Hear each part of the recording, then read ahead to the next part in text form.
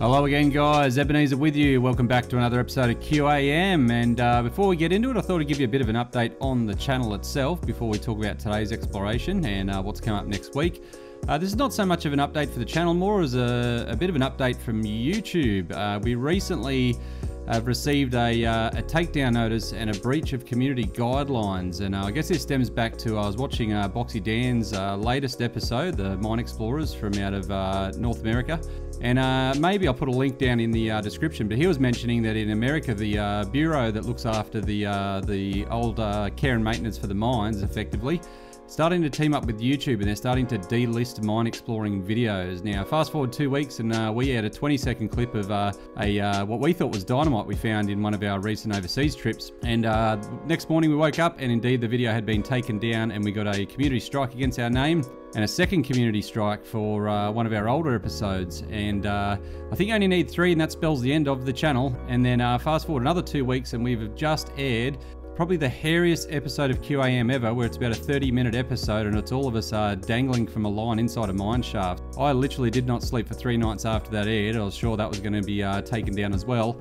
And that would spell the end of the channel. So uh, you notice the intro music is missing as well. We kept getting emails about copyright licensing. Uh, so we've got to uh, clean up the act a little bit per se and make sure we're in our best behavior because uh, we have really been putting a lot of hours into this channel and we'd hate for for us to upset YouTube and have the channel taken down. Uh, so anyway, on to today's episode. There is no underground uh, explorations. We do believe all the old mines uh, up behind this mill are indeed bulldozed anyway, and they are also not accessible to the public. So uh, you're going to see uh, a new announcement from QAM in terms of the vehicle we've just purchased. Uh, we call it the MEC, the Mine Exploring Chariot.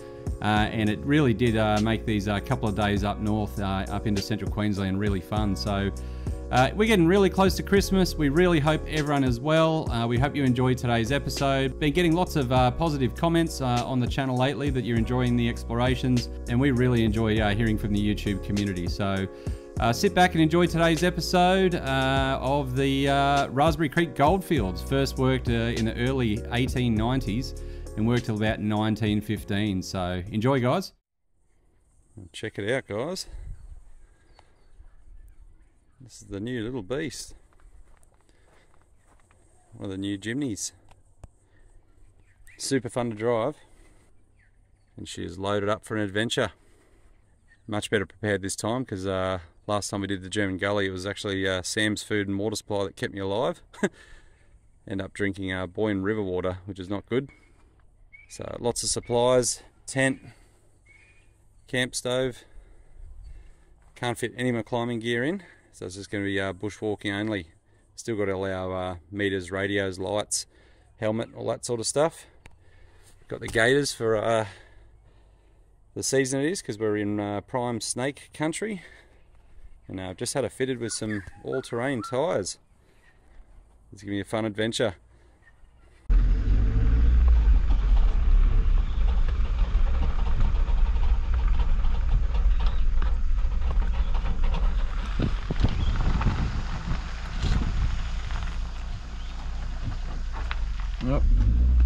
I'm going around.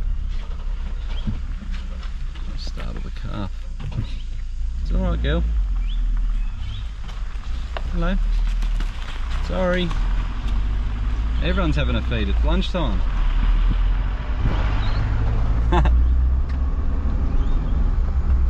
uh, so we're in Kalpowar State Forest, guys. And the little four-wheel drive is doing unreal. Just dropped the uh, tyres to 22 psi. It's not really off-roading yet. It's just so comfortable. Already done a couple little river crossings.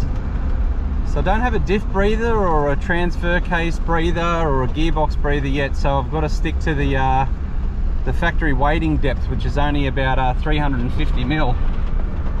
So I can't do anything uh, too adventurous. There has been a lot of rain out here lately out on the way to uh, Monal. So that's going to be the only thing that uh, brings this adventure to an abrupt halt is if we uh, hit a river crossing that this car isn't ready to uh, tackle yet. If that's the case, we've just had some great news. Uh, Nathan has uh, met the probably the grazing leaseholder uh, for the mine that we're going to go to tomorrow and it now means that we're able to drive pretty much all the way to the mine which is absolutely awesome. So so far so good. I've driven down this road in a little uh, tiny Fiesta. More times than I wanted to and I was just an absolutely nervous wreck. Tiny 13 inch wheels on street tires and the uh, Fiesta is about four inches off the ground. This thing is awesome all right see you guys when we uh, stop for some lunch i think. All right we are still uh, tracking west. Absolutely devastated on uh, coming through the state forest. I encountered a land cruiser going about 120 k's an hour on the uh, dirt track. Got a little stone chip absolutely spewing. First damage to the suzuki.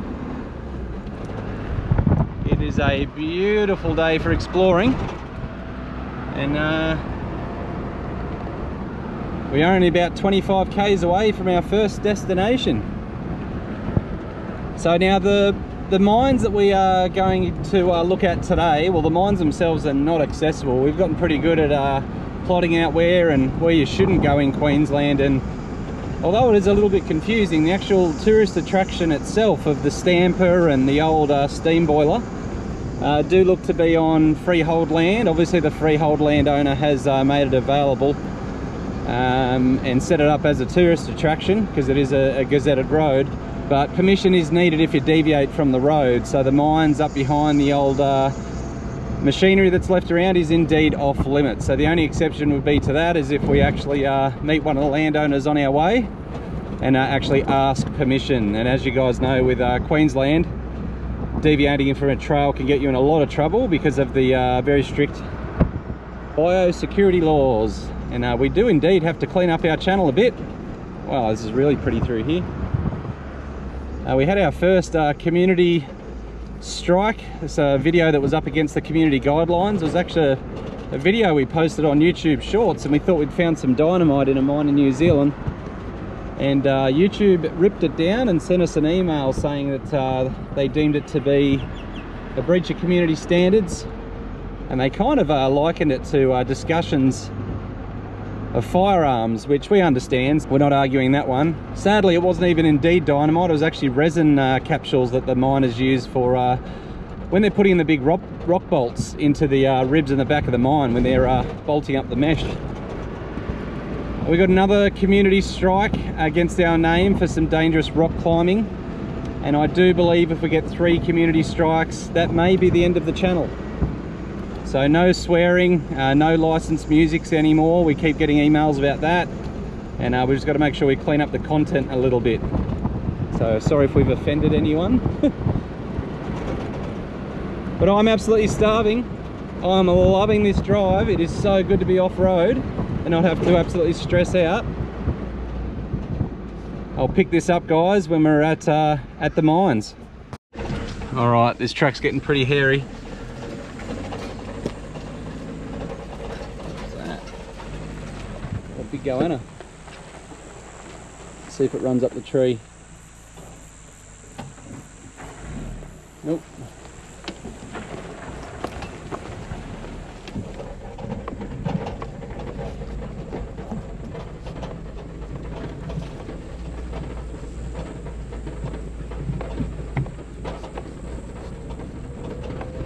All right, only five Ks from the mines, guys.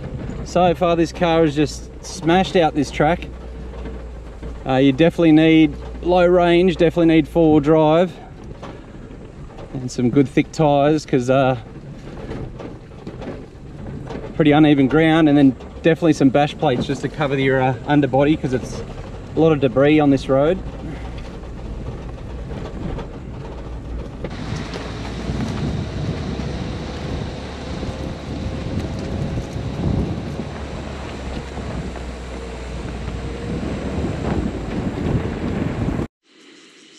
Well, massive fail guys, massive fail. It is too hot for me to be trekking through that solo. And my GPS has sent me uh, the wrong way. I followed this road a couple of hundred meters and uh, it just goes to Lantana. And uh, that way there's a biosecurities gate that says uh, you can't go through without uh, permission first. There's no phone reception out here. So this one might be a bus, guys. Absolutely spewing. So the road did go down there at one stage or further down that way. There's no way I'm risking that by myself. Not with the first outing with this little beast. All right. Spewing, fail. Look at that for view guys. Hasn't all been a fail. Been a fun drive I guess. Back to Monto, fuel up, get to the campsite, maybe try and track down a few beers and uh, get ready for the huge day tomorrow. Tomorrow was always meant to be the main event. All right, we are back, back on the trail. We got uh, two thirds of the way back to Monto and put it back into the GPS and the uh, GPS initially sent us way too far east.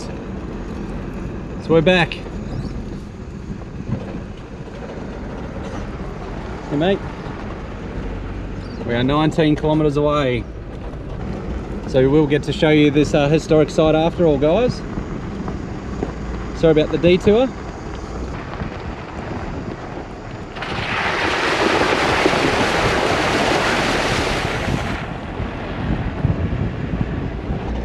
Okay. So I was walking down the stairs. and this book is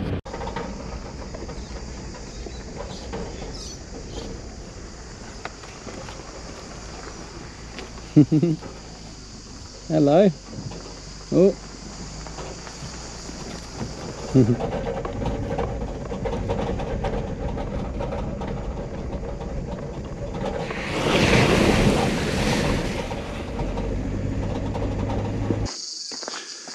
All right, gang, we made it. Welcome to the uh, historic Monal goldfields. This is so cool to see history preserved like this. I'm sure if you follow this channel you appreciate it, but just even that already, big 10 head stamp. One of the pistons is gone. I'll try my best to piece it together guys, but this here looks like a huge Cornish boiler. That's almost as uh, big as the one at Shamrock, probably one size down. Do believe it's a Cornish boiler just because of the one intake. I know the Lancaster or Lancashire, they have two little ones, and I believe that was the uh, the most powerful boiler. I believe this one ran a uh, close second. I don't know how. Oh, there's a wasp nest in there. We're a fair way from the uh, from the uh, train line, even the historic rail line. So I don't know if this would have been coal fed. This may have indeed uh, been lumber fed. And you've got the beautiful engine, and this indeed could have been an engine and uh, boiler combo, similar to the one at the German Gully. And if anyone's really good with their boilers, that to me looks like a Robey. I know these mines were started early in 1890s, 1891, 1892. This looks really similar, maybe a little bit bigger than the one we found at uh, the German Gully. What would have happened guys, they would have fed this. This is the engine. The steam power would have uh, turned this big bull wheel and the cam which is now sitting down on the ground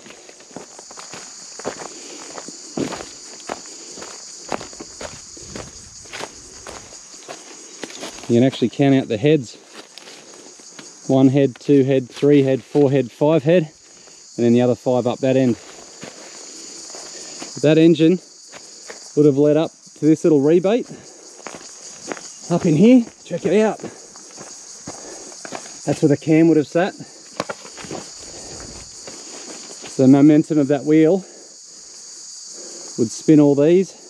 And this is where the uh, the operators would uh, hand feed in the ore well, they might have had some chutes depending on how big uh, the mine was. And you see the big shoes on the stampers down there? How cool is that? And uh, what happened afterwards is indeed a guess. There could have been a shaker table or there could have been an amalgam table.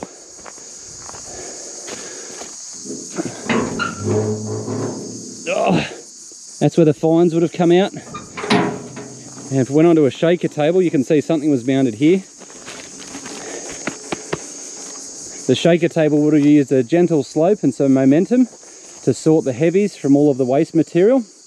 That's how the uh, old timers would have captured their gold.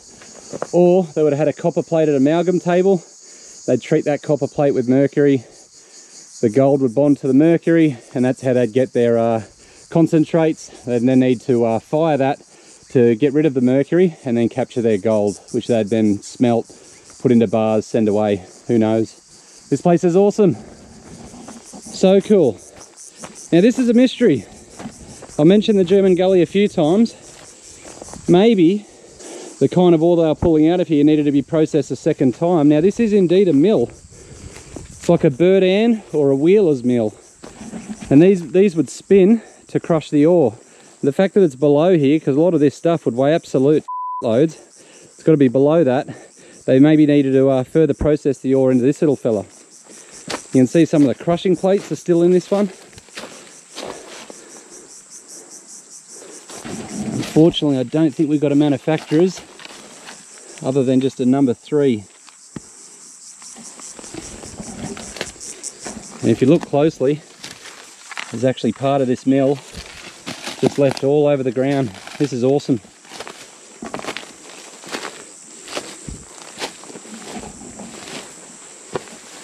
Yeah, no manufacturer's plate.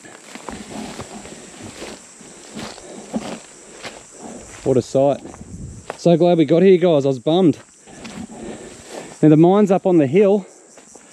You got the United Rise, I think Star of the East over here. You got the Red Flag mines further down to our uh, southeast.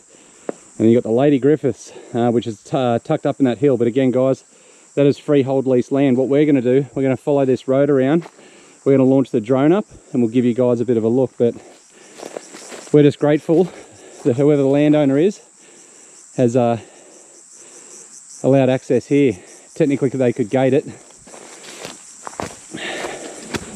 So cool. Now this one's interesting guys and we're out of ideas for this one. You can see one of the old grinding pads for the pan. This one's a lot lower at the mill site. You can see the big 10 head stampers right up there. Again, no manufacturer's plate on this one. You see another one of the grinding wheels.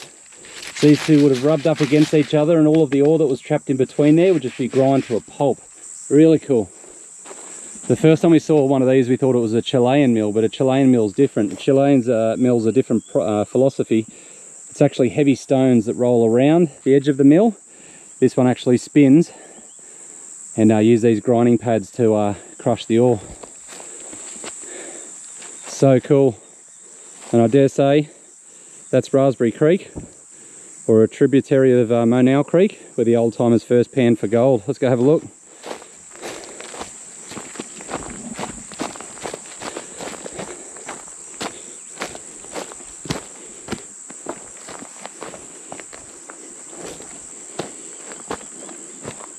Wow, super scenic. You see all the river rocks in there. I can actually see a bit of machinery in there, or is that a bit of bark? Let's have a look.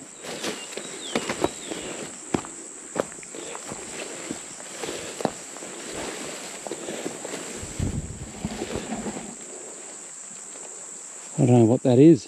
Huge bit of iron sitting in there. Not too sure on that one. But this is where they would have found their uh, alluvial gold, guys. Panning this creek.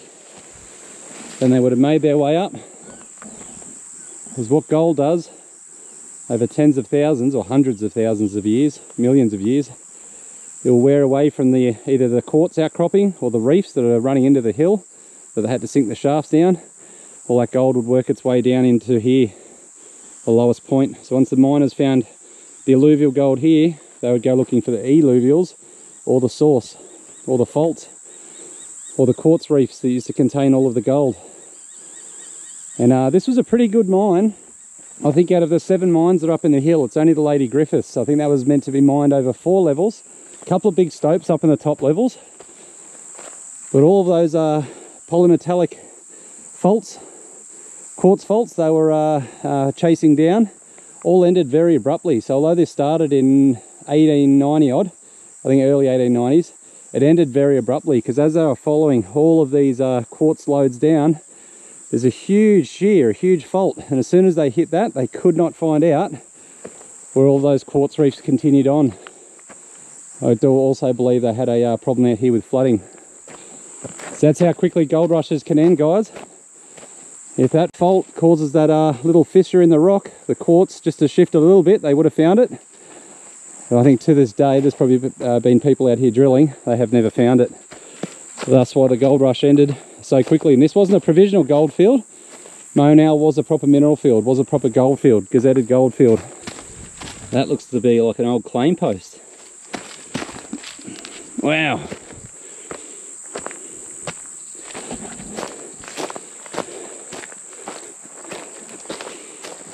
that would be the flume off the boiler.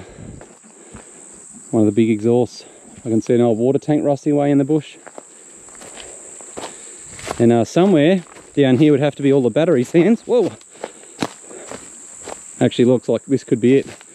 This could be all the uh, crushings. They didn't refine into the gold.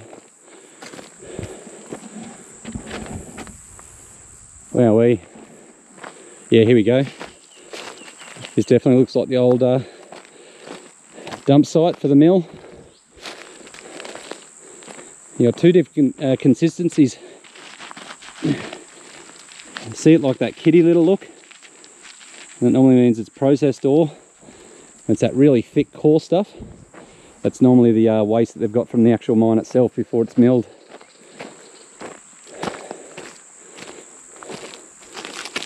Oh, I'm so glad we found it, guys.